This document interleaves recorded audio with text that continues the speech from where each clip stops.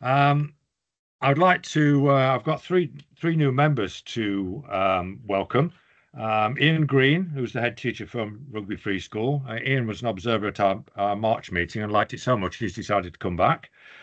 Um, Jill Bowser, um, head teacher from Stockingford Academy, and Suzanne Whiston, uh, who's the head teacher of Oakwood Secondary School, so um, a special school. So welcome to you three. Um, in the interest of transparency, I would uh, declare that uh, although I'm elected to this forum, as a uh, maintained representative of Whitestone Infant School, where I'm a governor. I am also uh, Joe's chair of governors at Stockingford Primary. Just to uh, make that clear. okay. Um, Darby, would you like to go through the apologies, please? Mm, yeah, we've got apologies from Alison Ramsey, Amy Woodward, Ian Green, Rebecca Harrison, Siobhan Robertson, Peter Husband, Ricky Ames, Kerry Clare, Marian Burrows, and Claire Jeffsworth, and also Councillor Camco. And just to let you know, Ross uh, will be joining us a bit late. Thank you. Yeah. Thank you, everybody. All right. Thank you very much for that. Okay. Um, item two is um, voting on actions from the last meeting. They have been circulated prior to this meeting. Does anybody have any issues they want to raise with them? Okay. so um, item three um, is is our only matter for decision today, and it's an update on the scheme for financing schools. So, Purnima. Thanks, Phil. Um, so just because we have some new members that weren't here for the uh, for the previous meeting, I'll, I'll just run through um, what we do with the scheme for the financing of schools. So first of all, it, it is a, an item for decision, and that's a, um, just for the maintained schools only. We need the votes for this, please. Um, so this relates to the scheme of financing of schools. Um, back in the, in March, um, I presented um, the potential changes that proposed changes to, to update our scheme, so that it would be in line with the DFE blueprint for the scheme, essentially. literally days after the March meeting, the DFE then released a few more changes. So the consultation that came out, um, I made sure that we included all of the changes. And actually, um, in order to be in better alignment of when the DFE issue their changes, I'm proposing that the proposal comes to the June meeting in future and then is approved finally by Schools Forum in the September meeting. That will mean that we are absolutely at our most up to date in terms of the DFE blueprint. Um, the changes then that I'm looking for approval for are what we consulted on, um, and essentially they're, they're minor changes, um, and they're highlighted on page 15 and 19 of the appendix, and they relate to the proceeds of the sale of assets and also the treatment of leases. Um, we did consult on those. Um, the consultation responses are itemised in section 2.2 of the report. Essentially, there were no objections.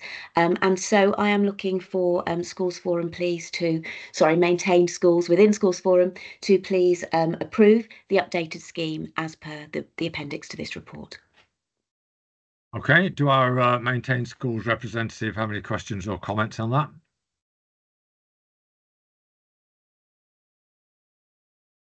Okay, we'll move to the recommendation then. Um, if you'd like to show uh, by raising your, your using the raise hand uh, function, um, all those in favour, please.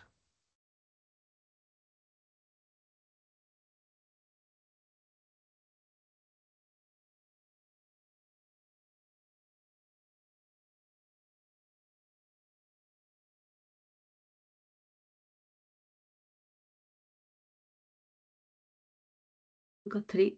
Yeah. Okay, how many have we got? Three. Three. Right. Are there any against? Okay, we'll take that recommendation as approved then. Thank you. Thank you. and um, going back to uh, going back to my introduction, I apologise because I should have introduced um, Liz Firmston, who is um, going to be is replacing um, Purnima on this uh, forum after Purnima's uh, promotion to her new role. So, um, formally welcome you, um, Liz, to the uh, to the uh, forum, and look forward to working with you. Thank you. Thank you. Okay. Um, item four. Then we've got uh, the rest of the items on here are uh, matters for information and comment. Hopefully, we can get some comments. Um, so, item four um, is the uh, DSG outturn for 2023-24. Thank you. Thank you, Phil. So um, the papers for the DSG outturn for uh, 23-24 and it sets out the position as at the end of um, March this year.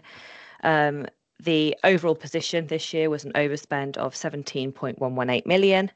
Um, this was a decrease to what we showed in our forecast at period 10 in our last schools forum report in March of 2.332 million. This decrease has primarily been due to um, the reduction in growth funding required this year due to slippage and also um, a reduction in the post 16 spend that we were forecasting. While the overall overspend is 17.118 million, it should be noted that obviously um, this is over all four blocks, and the key financial risk to this is 19.072 million, which was the high needs block overspend at the end of the year. I say we all know that the pressures on the high needs block aren't unique to Warwickshire, and it's quite a national issue um, as part of that. But we are looking to address our issues through the DSG recovery plan and as part of the DBV programme, which I believe is one of our next reports as well. Um, the overall outturn did give us a 3.06% overspend on our original DSG. So the DFE do require, require us to have a DSG recovery plan, which we have got in place. which brings us to our reserves. So that brings our closing reserve balance for the DSG at an overspend position of 33.215 million, and that is quite large already. Um, that is being offset at the moment by an offset reserve which the council is holding, which was 26.505 and has been increased to match the cumulative deficit at year end. Um, I believe we've got about 18 million in the plan to for next year for the increase. Um, but after that, we haven't got any more in council reserves to fund that. So we'll be looking at other options made that made available from central government. Section four of the report goes through all the different um, unders and overspends of the uh, four blocks. I say I, I mentioned the two main changes since last time on the schools block and the high needs block early years block and central block remained largely unchanged. Um, and at that point, I will leave it there because I'm sure you've all read it and go to questions on those areas instead, if that's okay. Okay, thank you. Questions or comments, members, please?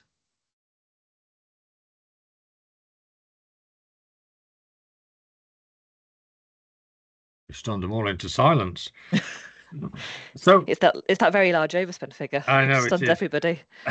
um, so going back to paragraph 3.2, um, in terms of the authority uh, taking advantage of the statutory override from April 2025, what's the implications of that then for us? Shall I come in on this, Steph? Yes, yes please. please. um, so the the statutory override, we actually only have one financial year left of the statutory override, and it will be 2025 uh, 26. Um, until then, we have been um, contributing into our offset reserve. Um, but as a, as a local authority, we can no longer afford to do that. So the 18 million that we contribute this financial year will be the last year that we do that. So options after 25 26 are that the central government will um, extend the statutory override to further years, which will mean that local authorities across the council will continue to build this cumulative um, deficit associated with the high needs block. But ultimately, that's not sustainable. So at some point, the central government will need to do something else.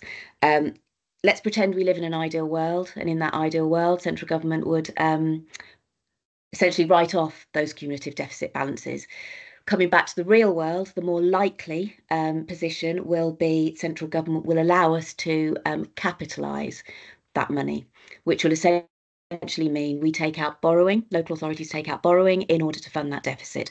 Really, all that's doing is putting greater pressure on revenue budgets in order to be able to fund that borrowing. So it's far from ideal. Um, but if I had to put a bet on it, that's where I would imagine it goes. I don't know if anybody else would like to come in on that.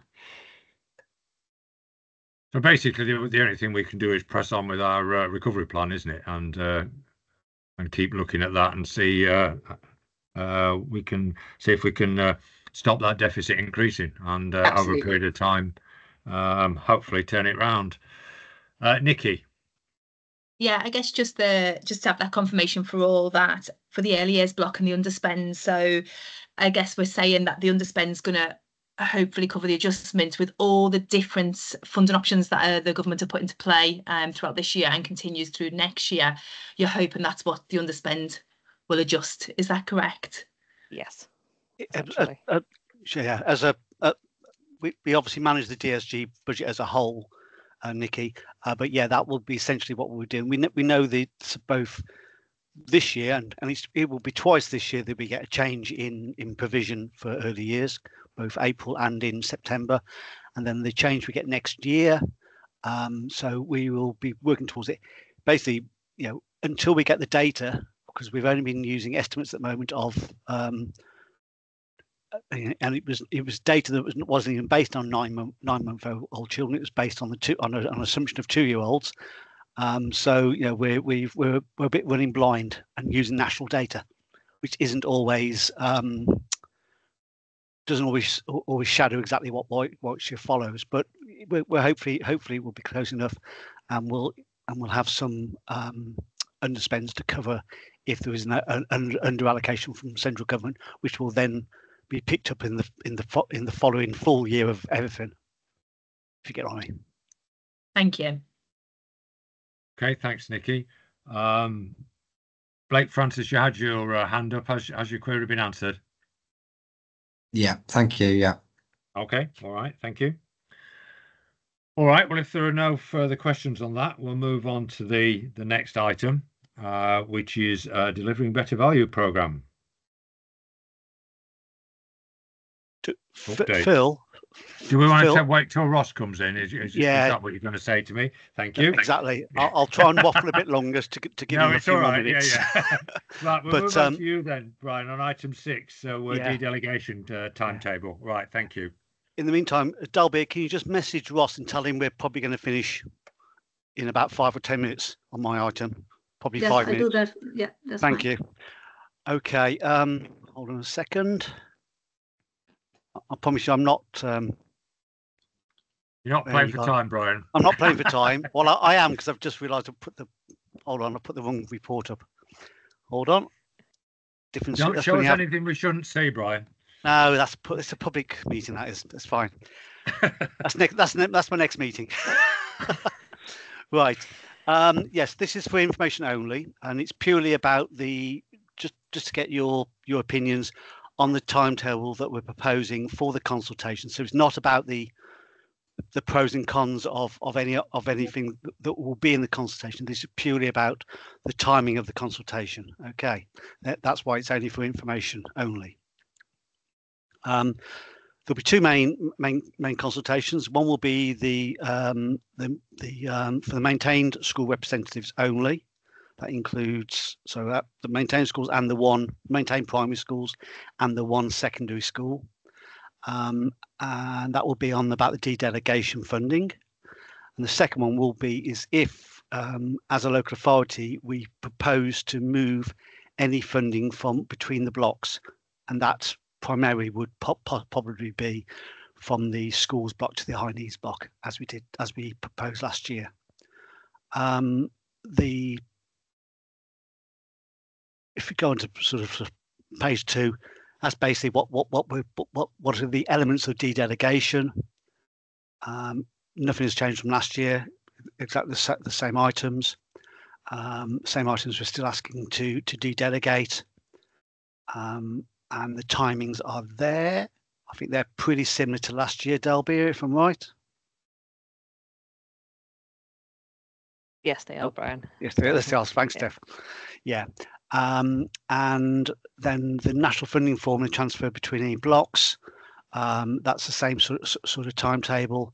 Um, we, have put a few different dates just because of because of timing wise. Obviously, the um, the deadline for submitting the application is still up in the air from the Education Funding Agency. So we will find out that and let people know as soon as possible. But that's the general picture. Um, I won't waffle anymore because Ross is back in the room. Uh, I hopefully, um, hopefully that's that's clear. And everyone, has anyone got any comments or anything that they don't particularly like about the timetable? So in terms of the de delegation, we're going to take that decision in um, September. Is that right? Yes. And the the interesting decision about transfer between blocks, we're going to take we take that one in November when we're meeting in person. Is that correct? Yes. So bring all your rotten tomatoes along to that meeting. Yep. We'll bring our we'll bring our uh, our crash helmets, Yeah, thank you. hard hats. yeah, Um, Nikki. Yeah, I just think those dates all work. Just a quick thought, thinking back to um, one of our last meetings, we thought about is there a way we can try and look at a way of getting more responses? We thought about maybe is there a different way we can have the questionnaire out? Um, so is how, how is it going to get sent out this time, Brian? Just a thought. 'cause Right, It's just it- just pin me back to our we- last meeting when we. Is this for the um the the tra- block transfer one? Nikki? Yeah. So, so there's two elements of this um, that we have yet to discuss. I say as part of um, all the, the transfer that happened this year, we'll be working more closely this year with the DFE in order to get more advice on um, how we frame that consultation and how it goes out. Um, but yes, we would also look to maybe change the format as part of that. Yeah, Yeah. so we can get as many people responding Yeah. as, as we that- can because we know the numbers are always low and it's really hard for schools forum then how do we reach everybody Yeah, They've, I mean, as, as part of the um, prerequisite of getting the, the this application this year, we've got a set of things we have to we have to do. Like we have to meet with the DFE three or four times a year, and one of those things is to discuss about the next the next year's application, which which we'll be doing if we d- if we as an authority choose to do that. Um, and as for the the other the um, the the uh, de-delegation, we've just tested today the the uh, the online form that's going out. Uh, so that'll be going out as soon as um, well as soon after this meeting as possible. Mhm. Benema. Yeah, Purnima. Thank, Thank, you. you. I just wanted to build on on what Nikki mentioned actually, and and wondered if there was any um, discussion worth having today about how we could potentially engage better or more with schools in order to get responses from that consultation. Um, as school representatives, governors, heads here today, do you have any ideas as to how we can maximise our responses to that consultation? Well, yeah, I was going to say to say uh, Purnima. I think I, the the school, um, as as as uh, the people who who are representing schools, whether it's as head teachers or as governors, I think we've got to um, really go out to um, to our schools and into the consortia uh, through the heads and say and, and emphasise the importance of this, how controversial it is each year, and uh, how important it is that when um, the representatives on this forum come to make that decision, that we can make as, as well informed a decision as possible. So uh, I think we have to commit to uh, to doing that um, as as um, school representatives. Um, so um, Blake, Blake Francis, please. I think d- during that um, kind of consultation, it's important to perhaps get a real understanding of the actual impact that that's had in in schools in terms of reduction in in uh, funding to the actual school at the centre.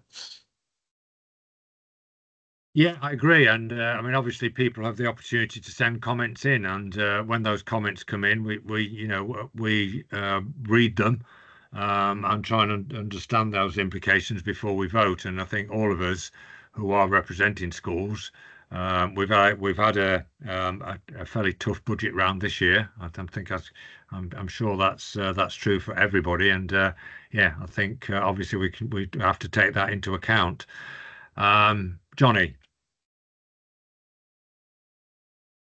Thanks, Phil. I was going to say we have a monthly strategic meeting with head teachers at the partnership board. So I can take items there if you want on behalf of Schools Forum to say this is the consultation, this is what's going on, um, just to raise that profile and to um, get people to respond. Yeah. If if if people feel that that's appropriate. Yeah, absolutely. And I'm sure you'll put it on a heads up as well, won't you? Sorry, Yes, say that again. that- So I got a bad connection here. Sorry, you, I'm sure you'll put that on heads up as well, won't you? We do as a yeah, we can of put it on heads we up. We can Yeah. we, we can do all sorts of things. I, I'm really keen that when we have consultations that as many people respond as possible. So yeah, uh, anything to help. Yeah. Okay, thank you. Nikki.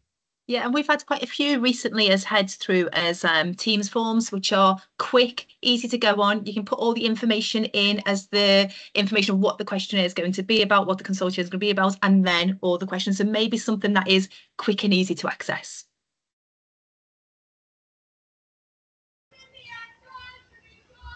Yes. Okay. Can I just say Yeah. yes?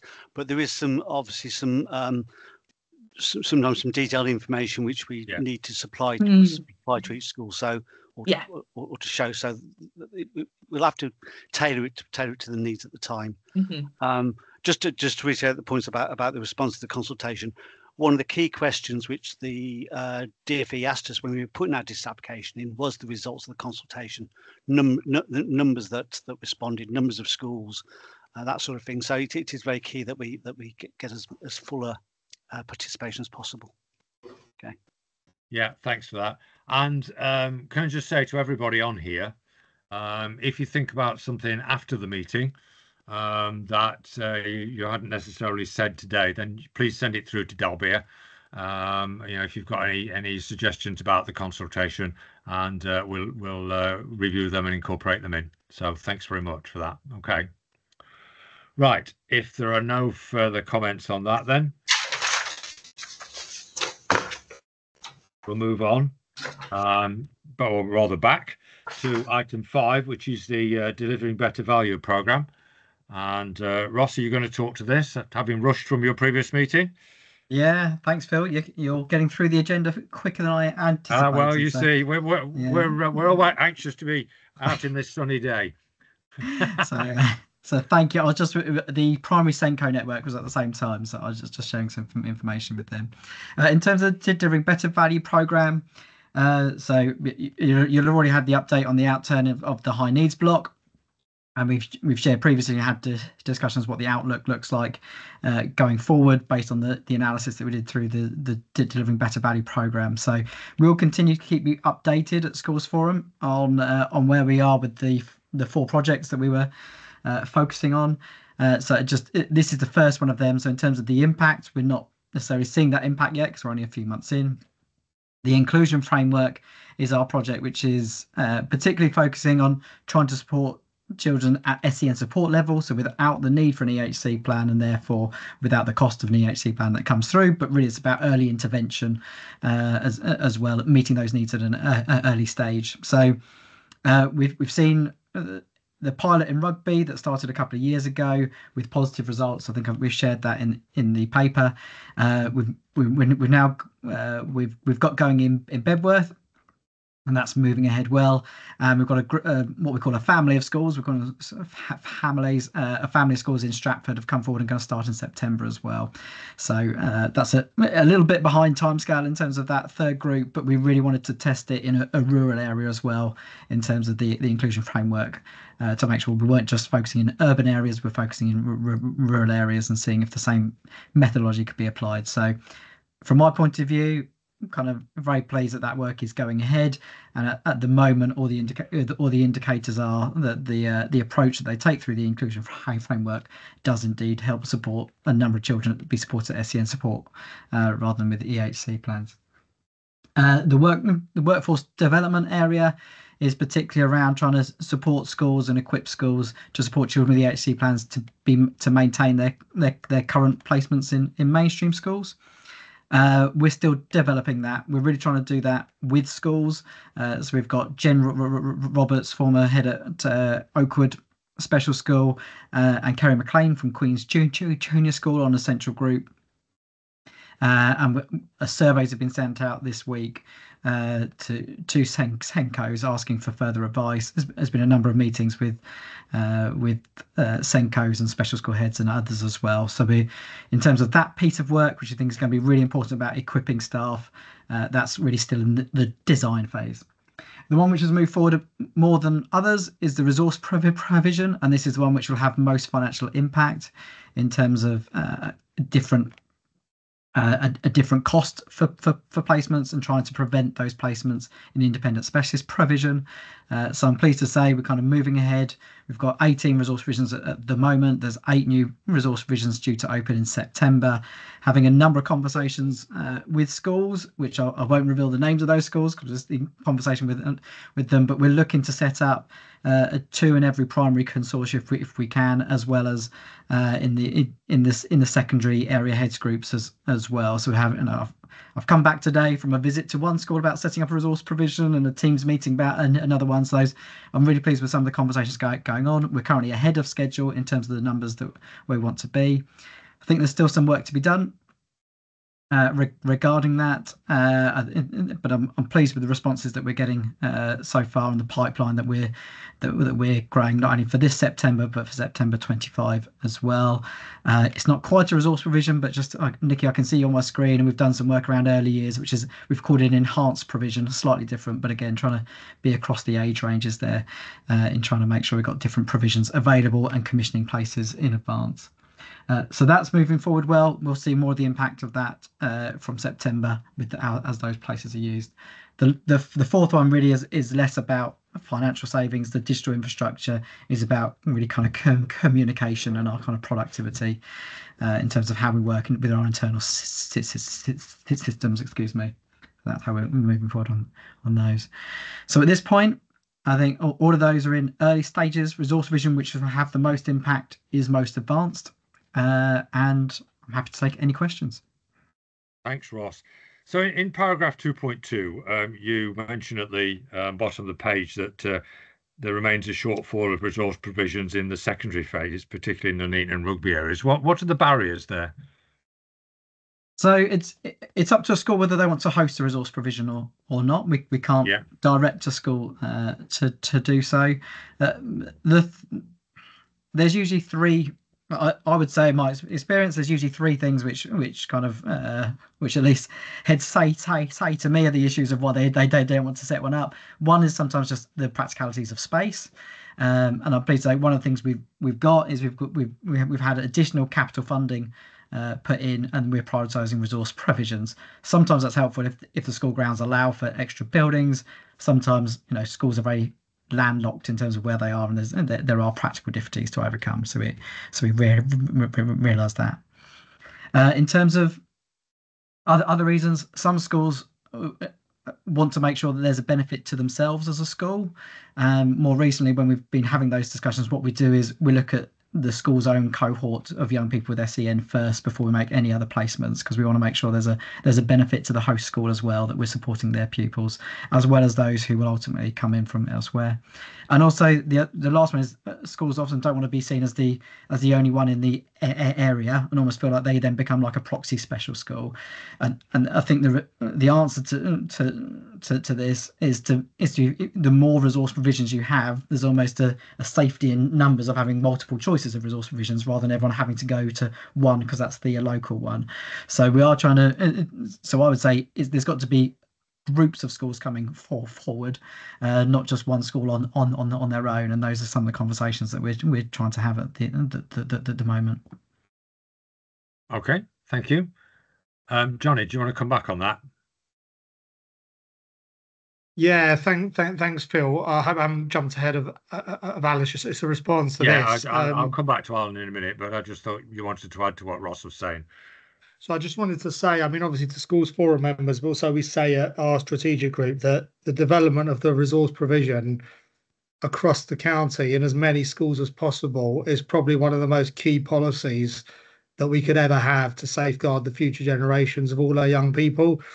Because, you know, the more that we have, the more specialists we can get in certain areas. So, you know, some schools can have provision for a certain type of um, special educational need. Others can have others, and it spreads and it and it distributes the load as well.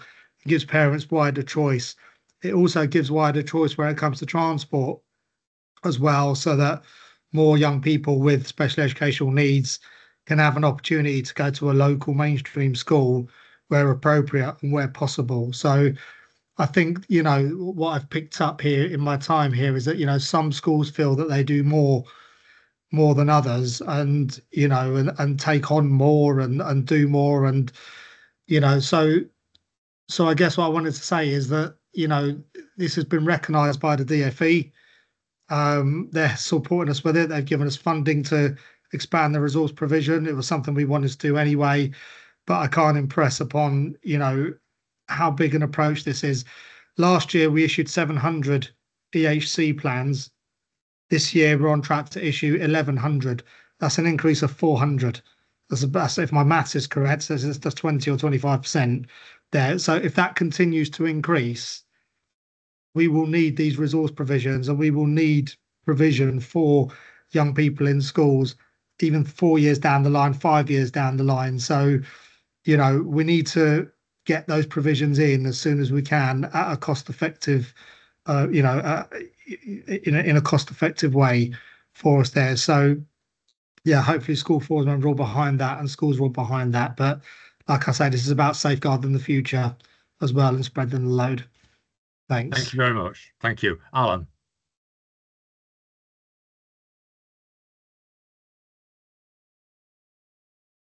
Alan Wheel, please.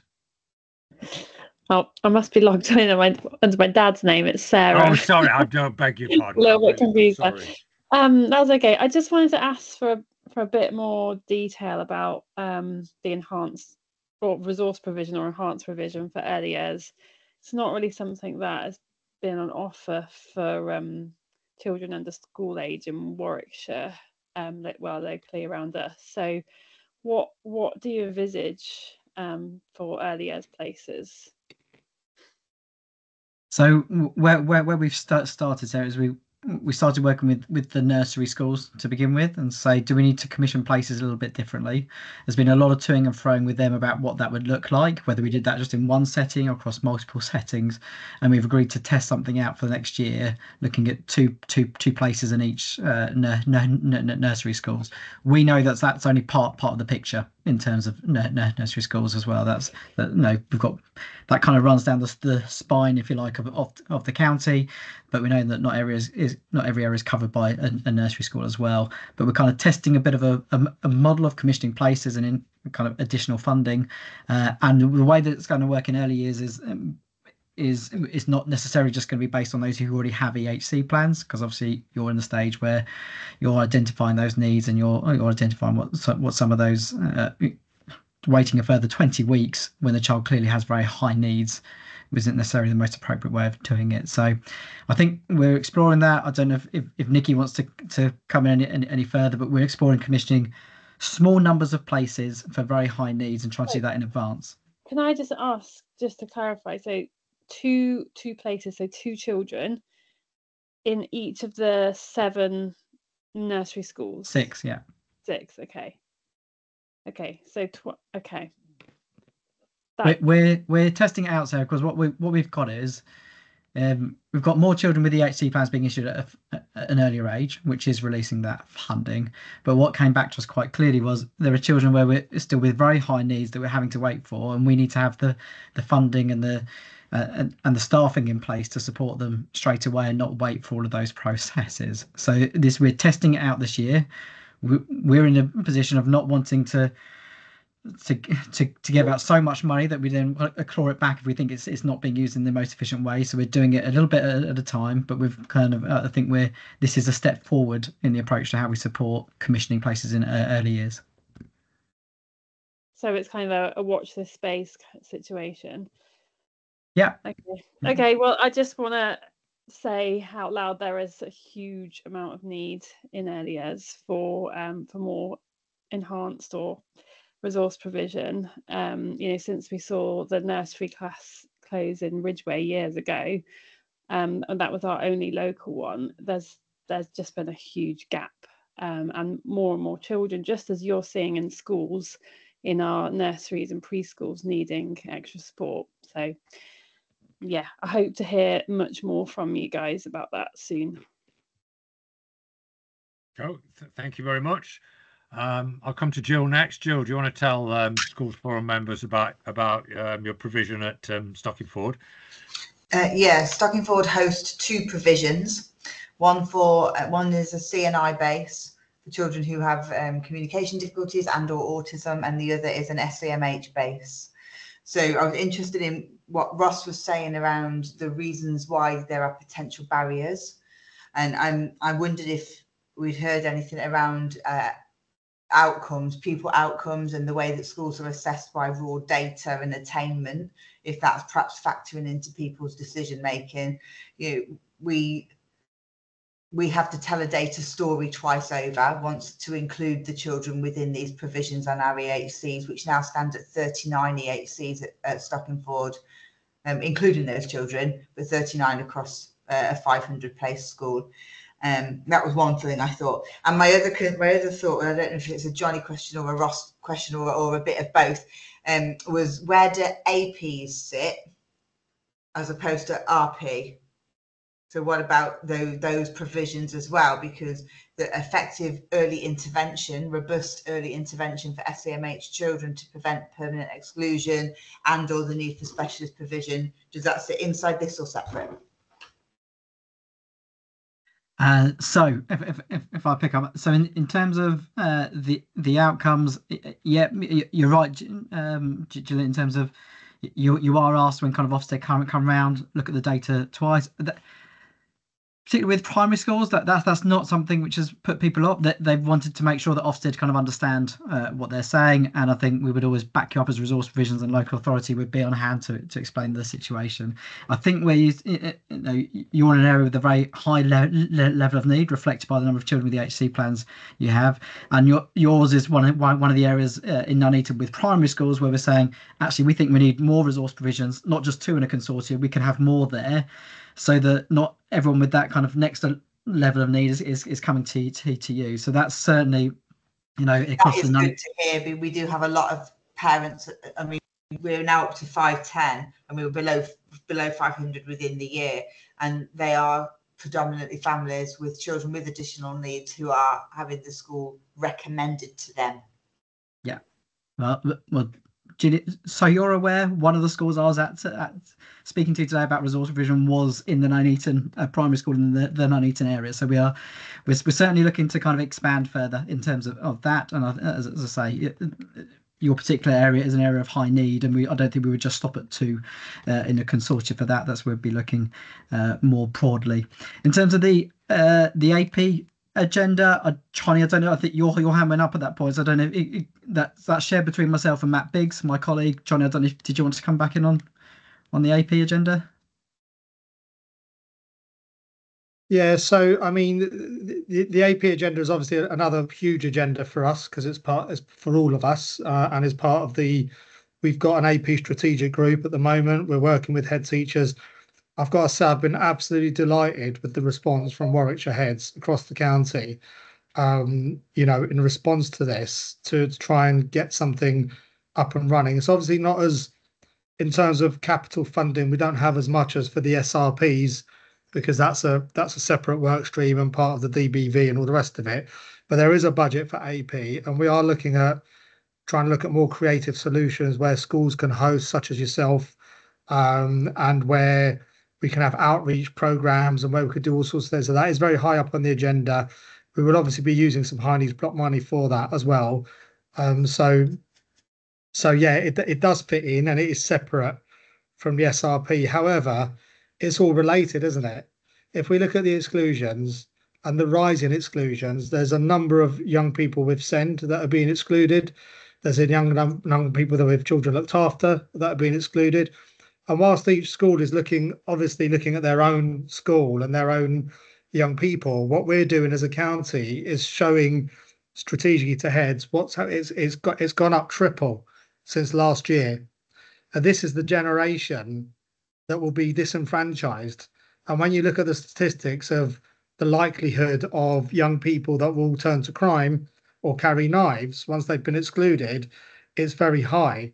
So, whilst as a school you might feel like you're protecting your immediate school, if you like, the community is not necessarily safer unless we collectively get together to to to try and work together to do that. And Matt's doing some great work and looking at some putting in some funding from the LA and schools contributing bit by bit as well, so that we can create a really big part. So it's a slightly different approach there with, with the AP, but I'm pleased that you raised it, Julian, because it's it's it's very much interconnected.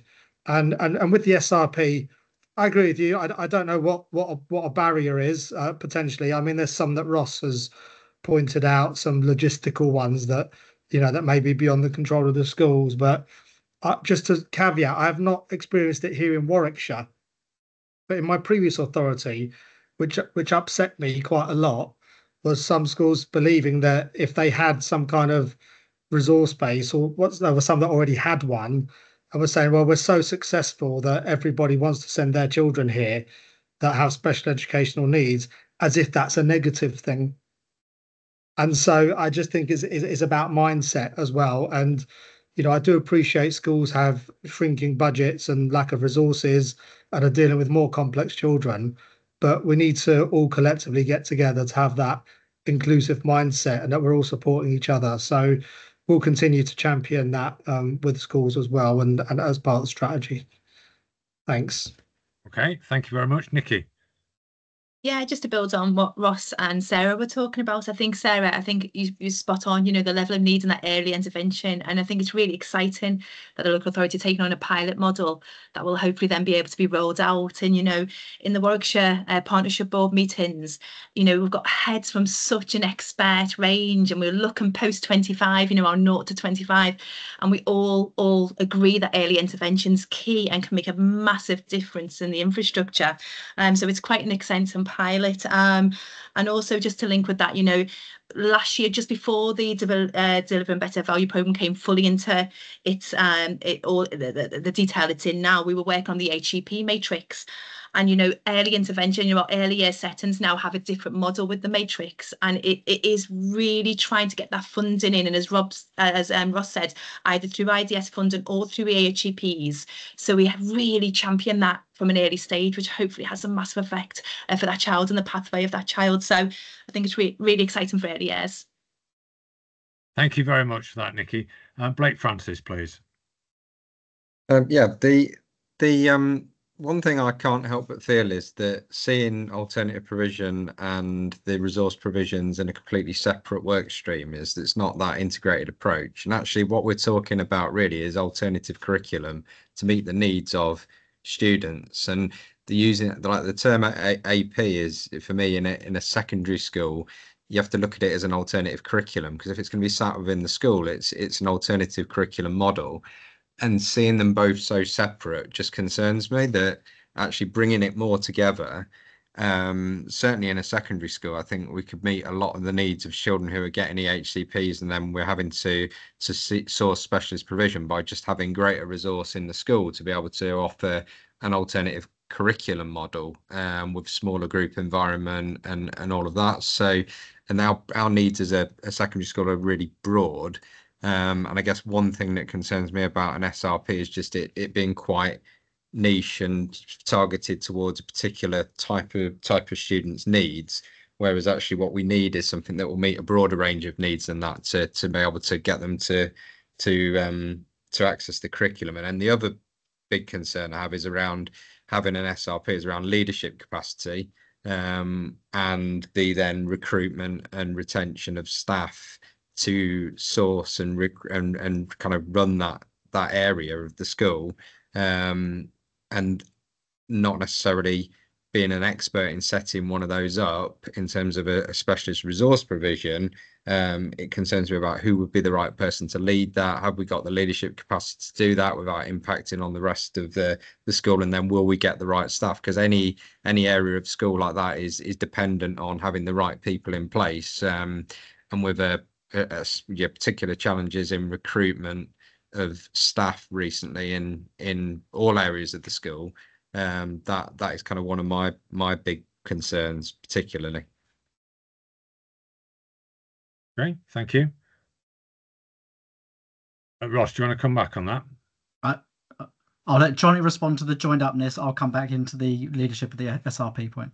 All right, thank I you, Johnny. Uh, I think Ross was probably beating me to it. I think there's plenty of experience of setting those up and looking at those and and supporting schools that um that want to do it. I, I do. I, I think I think that mindset, Blake, of what you've just said about it being an alternative curriculum, I think is fabulous. You know, it, you're absolutely right. It is. It is about that, and I think the language is important as well for that. So I totally agree with that. Um, I suppose with the SRP, there are there are niche areas with that. So, for example, a school that I'm a governor in, it, where I live, has got an SRP, and it's it's particularly for hearing impaired young people. Now that's that's close to me. I'm I'm hearing impaired myself. I wear hearing aids, and you know, without that, those young people wouldn't have a local place to go. Do you see what I mean? And be part of a mainstream education. So that that's kind of the thinking behind the SRPs. They're not necessarily just for dealing with, you know, that they could be more specialist as well for specific reasons, and and the expertise will go in there. But it does afford young people the opportunity to go to a mainstream school. At the moment, one of our issues here in Warwickshire is that through a lack of SRP, young people are going straight to special school, and that's that's probably not right or not fair for them. So it's part of it. But we can address all these things with any schools that, that that want to set them up. So, but I do like I do like your I do like your um your mindset about alternative curriculum and stuff. So uh, I think we'll look forward to working with you on that when we um you know when we have our inclusion agenda. Thanks. Okay, thank you. Ross. Um, Ross, I'm just going to bring Andy Mason in and then um, I'll let you sum up. Okay, Andy. Uh, yeah, just wanted to um, really echo what Blake said about the alternative curriculum. There are num- there is a minority of children in each school who, for the mainstream setting, doesn't work. Um, but equally, we, we don't want to put them out an alternative provision. Um, I don't think it's good for them to necessarily go to a different place. Um, and then there's all the travel and the cost. If we can find a way to retain them in school without them in some respects creating disruptions. We have a number of students who we have some limited alternative provision on site, and we've tried with Key Stage 3 and 4, which is quite successful at keeping people out of permanent exclusion. It also thins the disruption in the main school, so it does need to be outside the curtain, just outside of your main school, really, in a separate building. Um, and it's just sort of help towards expand or, or support that, but mainly to aim, uh, look at what what chance you give those students for the future in terms of employability skills. So they might not go away with eight, eight exams or 10 exam results. But if you can skill them in something that will give them employment, then that is a real benefit to them, their life chances. So that alternative curriculum is very much about giving them a, a, uh, giving them a almost a lifeline for their next step, rather than through okay. through traditional education. So anything that we can do to support developing that because that's a lower cost model than probably alternative provisions and other things. Um, and you also then create you, you retain your leadership and um, your staffing and you can use your whole resource in your school to support that which is what we do. We, we put maths teachers in english teachers and we move them around. But you need someone overseeing it in each school uh, to do it effectively just of the right who can relate to those kids. Thank you very much for that. Paul hosted please yeah, thank you. I was just going to add to, to what's been said. I think one of the things we need to really stop with alternative provision, and I, I do like the phrase alternative curriculum, is because there is a, a, significant isolation effect of some young people when they go to alternative provisions that they're then out of their normal communities of schools, they're out from peer groups and things like that. So I think, and also there can sometimes be a lack of ambition for these young people, and I think that's what we need to keep in mind that just because they're doing an alternative curriculum doesn't necessarily mean that we should then de-skill and devalue some of the things that they're doing. So I think it's just keeping that in mind that in anything that we're doing. It keeps that rigor, it keeps that ambition for the young people, make sure that we're not um, isolating or removing them from communities that are actually very often, in terms of mental health and things, a support mechanism as well. Okay. Um, thank you very much. Right, um, Ross, do you want to sum up then, please? yeah.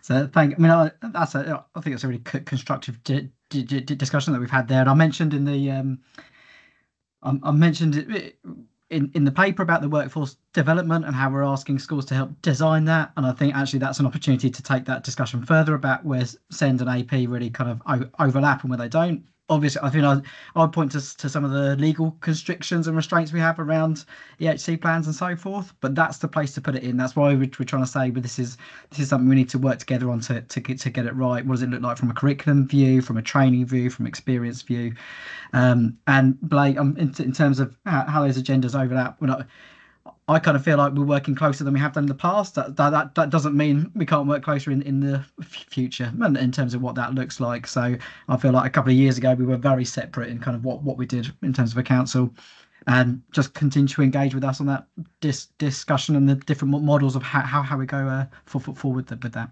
Thank you. It feels like it feels like we're moving in the right direction, Ross. Definitely. Yeah. Good. Good. Thank you very much. Thanks, thanks, Ross, for that for your report, and uh, thanks everybody for your uh, your contributions on that. It's been very interesting discussion. Thank you. Okay, moving on then to the um, almost final item, which is the um, forward plan. Dalbia. Thank you. Uh, the next meeting will be on 26th of September. It's going to be on Teams again. And we were going to bring the de delegation papers, reserve, consultation results for, uh, in that meeting for decision. And there will be six items for information and comments. And the meeting after that, it will, it will be in November extraordinary meeting. And we're not decided on the dates. Either could be 5th or 7th of November. But we're trying to find a meeting room to meet face to face so where everybody can have a chance to meet each other. So I will confirm that once we can find a meeting room.